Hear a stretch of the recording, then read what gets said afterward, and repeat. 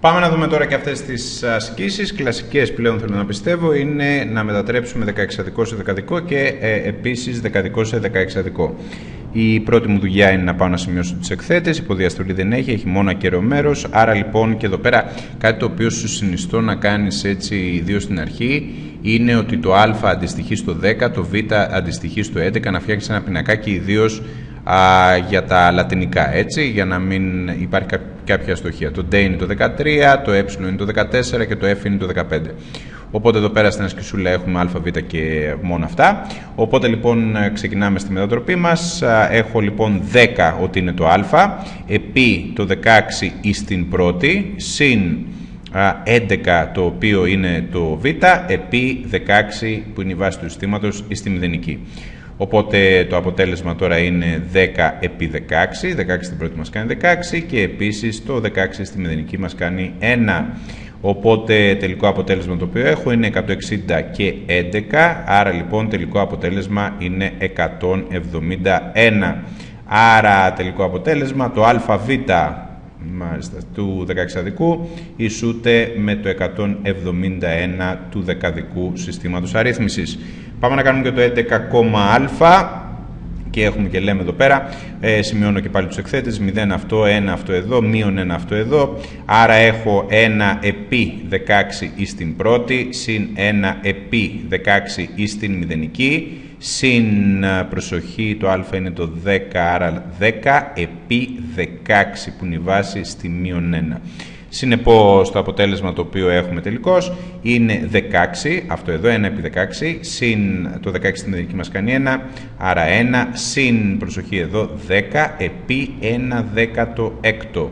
Συνεπώς το τελικό αποτέλεσμα είναι 16 συν 1 λοιπόν όπως το κάναμε προηγουμένως, συν 10 δέκατα έκτα, όπου στο 10 δέκατα έκτα θα χρησιμοποιήσω το κομπιουτεράκι, 10 δια 16 μας κάνει 0,625. Άρα λοιπόν τελικό αποτέλεσμα 16 και 1,17 τα ακέραια και το κλασματικά είναι 0,625. Άρα και τελικό αποτέλεσμα της άσκησης είναι το 11,α του 16 αδικού συστήματος αρρύθμισης ισούται με το 17,625 του δεκαδικού συστήματος αρρύθμισης. Και πάμε να κάνουμε τώρα τη μετατροπή την ανάποδη, δηλαδή από το δεκαδικό στο δεκαεξαδικό. Οπότε για να κάνουμε αυτή τη δουλειά θα πρέπει να κάνουμε διαδοχικές διαιρέσεις. Οπότε πάμε να κάνουμε τις ε, διαδοχικές διαιρέσεις. Θα το κάνω πάλι με τους δύο τρόπους τους οποίους συζητήσαμε. Ε, θα κάνω δηλαδή τον πρώτο τρόπο, ο οποίο θα αποτυπώσω τις διαιρέσεις έτσι να τις βλέπουμε να γουστάρουμε. Και στο δεύτερο τρόπο θα κάνουμε την πινακοειδή αναπαράσταση. Επιλέγεις εσύ τον τρόπο ο οποίος σου αρέσει. Δύο ψηφία λοιπόν εδώ πέρα, οπότε έχω 1 επί 16 μας κάνει 16 και αφήνει υπόλοιπο 0 κάνοντας την αφαίρεση, κατεβάζω το 3. Ε, το 16 το 3 δεν χωράει, οπότε λοιπόν βάζω 0, οπότε κατεβάζω και το άλλο ψηφίο, το 3 και το 16 ε, στο 33 χωράει δύο φορές. Άρα λοιπόν το αποτέλεσμα είναι 2, 16, 32, συνεπώς έχουμε υπόλοιπο 1.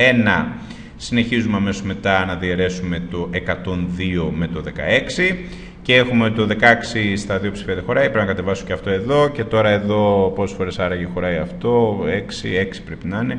Κάνω την δοκιμή 6, 6, 36 και 3 το αυτό και 6 επί 1, 6 και 3, 9. Πράγματι τόσο είναι, άρα λοιπόν εδώ πέρα απομένει και ένα εξάρι, το οποίο είναι το υπόλοιπο της διαίρεσης και συνεχίζουμε αμέσως μετά, σταματάμε όταν το καλό έχουμε υπόλοιπο 0. 6 λοιπόν δια 16 έχουμε ότι μένει και αυτό εδώ το υπόλοιπο της διαίρεσης και το, και το πηλίκο συγγνώμη της διαίρεσης είναι 0 όντως. Άρα λοιπόν το συμπέρασμα το οποίο έχουμε βγάλει είναι το 1633 του δεκαδικού. Ισούται λοιπόν με το 661 του 16 συστήματος αρρύθμιση, επιμένω όμως και στην αποτύπωση πολύ, οπότε λοιπόν θα, ο δεύτερος τρόπος είναι να, να παρουσιάσω το πινακάκι. Και στο πινακάκι αυτό εδώ λοιπόν γράφω πρώτα απ' όλα τον αριθμό, τον οποίο αριθμό θα τον διαιρώ κάθε φορά με το 16 και το πηλίκο της διαίρεσης θα παρουσιάζω και το υπόλοιπο, έτσι. Ιδίως τώρα στο 16 βέβαια, αν δεν κάνεις και τις διαιρέσεις δεν έχεις καμία ελπίδα. Οπότε λοιπόν εδώ τις διαιρέσεις δεν τις αποφεύγουμε, ας πούμε, ε, συνεννοημένα πράγματα. Αλλά παρόλα αυτά η τελική αποτύπωση του γραπτού σου πρέπει να είναι αυτή εδώ, έτσι. Αυτό να, το, να είμαστε συνεννοημένοι και γι' αυτό. 6 λοιπόν εδώ ήταν το πηλίκο και το υπόλοιπο που είχε αφήσει η διαίρεση ήταν 1. Ε, συνεχίζω αμέσως μετά. Ο επόμενος αριθμός ο οποίος είχε προκύψει ήταν το 102, το οποίο το διέρεσα με το 16. Μου άφησε επιλίκο 6 και το υπόλοιπο της διέρεσης ήταν 6. Αμέσως μετά προέκυψε ο αριθμός 6, τον οποίο διέρεσα με το 16. Εδώ τώρα μπουρδα είπα, ε. 102 είναι αυτό εδώ, ναι, sorry. Και αμέσως μετά έχουμε ότι το πηλίκο της διαίρεσης εδώ ήταν 0, ενώ το υπόλοιπο της διαίρεσης ήταν 6 και θα αποτυπώσουμε τους αριθμούς από κάτω προς τα πάνω και έτσι λοιπόν έχουμε ότι το 1633 του δεκαδικού συστήματος αρρύθμισης ούτε με το 661 του 16 αδικού συστήματος αρρύθμιση. Αυτά λοιπόν για την πρώτη μετατροπή. Πάμε τώρα στο άλλο να δούμε και εδώ την διαδικασία. Θα, κάνω λίγο, θα το κάνω με το πινακάκι όμως. Δηλαδή, πρώτα θα μετατρέψω το ακέραιο μέρος του αριθμού. Το 52 δηλαδή θα μετατρέψω πρώτα και αμέσως μετά θα ασχοληθώ και με το κλασματικό μέρος. Για το ακέραιο μέρος λοιπόν του αριθμού θα φτιάξω το πινακάκι αριθμός δια 16 λοιπόν σε κάθε βήμα και θα υπολογίσω το πηλίκο και το υπόλοιπο της διαίρεσης.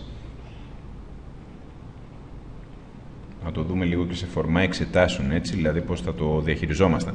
Οπότε λοιπόν πάω εδώ λίγο στο πρόχειρό μου. Η πρώτη διαίρεση που έχω να κάνω είναι το 52 με το 16. 16, 32, 48, τρεις φορές χωράει, έτσι, και μας κάνει 48, οπότε αφήνει και ένα υπόλοιπο 4. Συνεπώς 52 δια 16 στην πρώτη γραμμή την οποία γράφουμε, το πηλίκο είναι 3 και το υπόλοιπο της διαίρεσης είναι 4. Αμέσως μετά μένει ο αριθμός 3, 3 δια 16 λοιπόν και το πηλίκο της διαίρεσης είναι 0 και το υπόλοιπο της διαίρεσης είναι 3. Έτσι λοιπόν γράφοντας τους αριθμούς από κάτω προς τα πάνω έχουμε ότι το 52 του δεκαδικού συστήματος αρρύθμισης είναι το 34 του δεκαεξαδικού συστήματος αρρύθμισης. Πάμε και στο κλασματικό μέρος να κάνουμε αντιστοίχως τη δουλειά μας. Θα κάνουμε πάλι το πινακάκι. Στην εκφώνηση μου λέει ότι θέλει α, δύο δεκαδικά ψηφία. Οπότε όσον αφορά το κλασματικό μέρος ξεκινάμε και θα κάνουμε το πινακάκι που χρησιμοποιούμε. Αριθμός επί 16 αυτή τη φορά. Προσοχή και στις στήλες τις διαδοχικές τις οποίες έχουμε να διαχειριστούμε. Πρώτα θα γράψω το γινόμενο και αμέσως μετά θα απομονώσω το ακέραιο μέρος του γινωμένου που θα φτιάξω. Άρα λοιπόν έχουμε διαδοχικά ότι το δεκαδικός αριθμός που βγάζω είναι το 0,1 το οποίο θα το πολλαπλασιάσουμε το 16 και το αποτέλεσμα είναι 1,6 το ακέραιο μέρος είναι 1 ενώ το κλασματικό μέρος είναι 0,6 το οποίο θα το πολλαπλασιάσω στη συνέχεια με το 16 ε, το αποτέλεσμα αυτό θα μας βγει 0,96